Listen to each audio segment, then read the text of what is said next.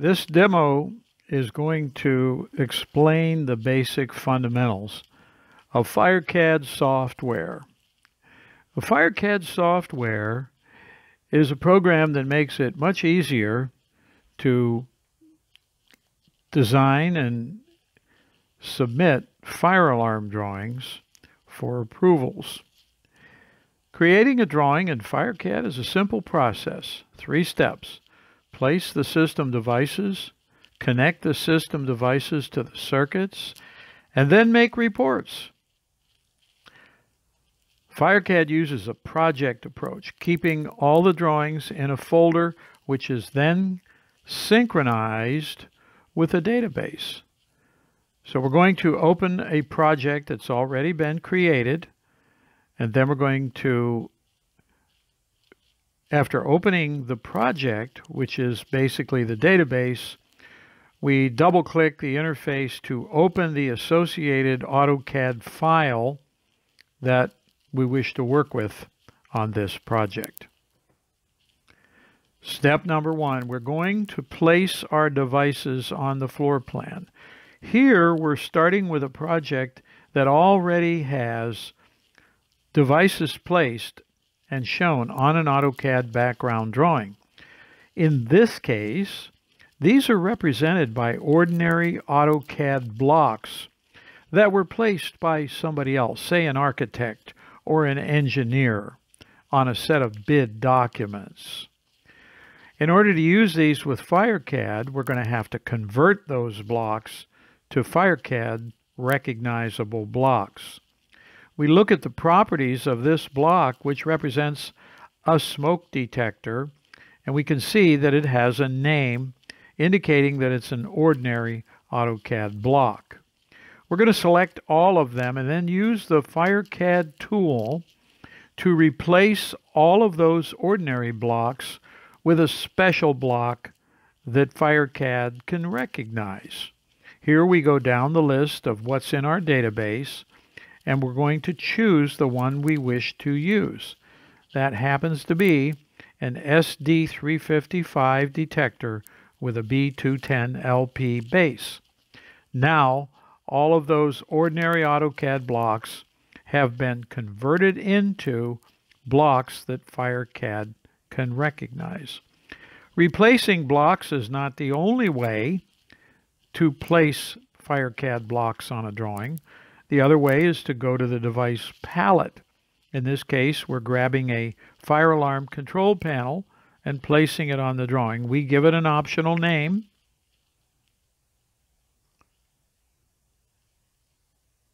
and the name is now shown as an attribute of that block.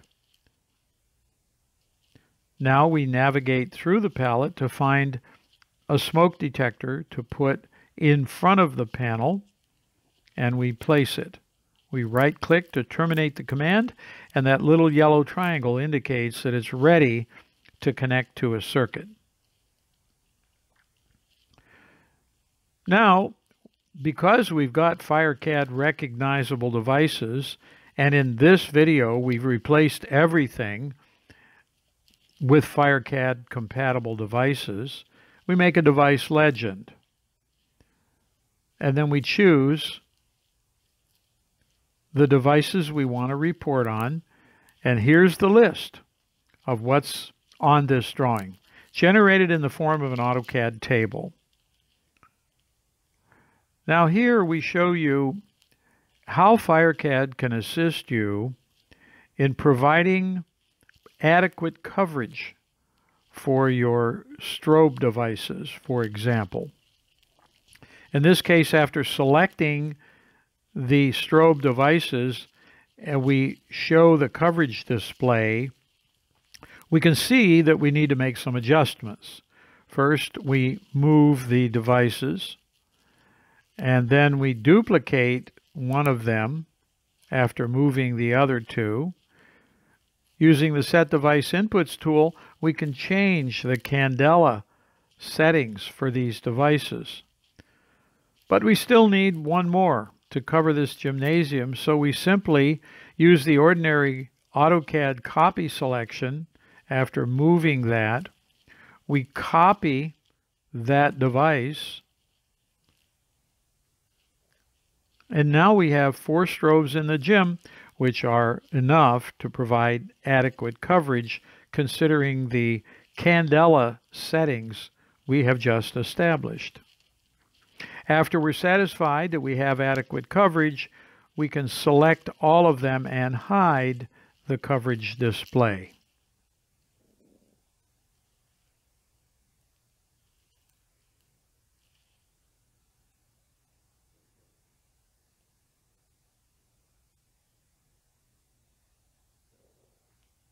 Now we go to step number two.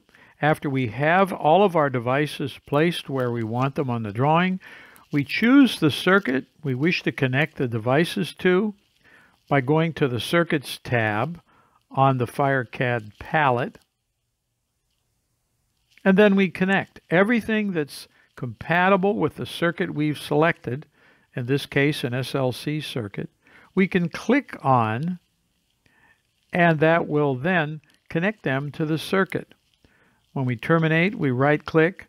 The addresses are automatically applied, and in this case, wire paths are automatically generated. That's an option that doesn't have to be used. We can then gen generate wire path labels indicating the wire fill with an abbreviation. In this case, the A represents an SLC. And now we go through the rest of the drawing and again, in a like manner, we choose the circuits we want to connect and the devices we want to connect to those circuits. Now we've fast forwarded to the point where all of the system's devices have been connected to circuits on this drawing.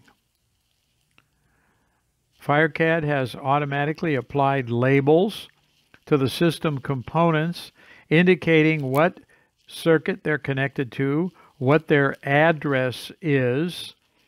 In the case of NAC devices, the NAC circuit they're connected to and their sequence number.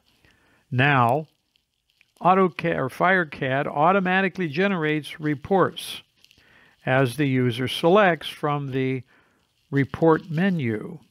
So in this case, we're going to do a point-to-point -point voltage drop. Instantly, all the NAC circuits are given a NAC circuit voltage drop report, point-to-point -point style. It can also generate a lump sum report as an option. Here we generate a battery calculation on all the panels that are in the drawing. The battery calculation, of course, includes the connected loads to that panel. And here we're going to generate a riser diagram. We select Create Riser, and all of those devices which have been connected to the circuits are listed on the riser that's generated, including a separation of the levels floor by floor. The riser is generated instantly and accurately.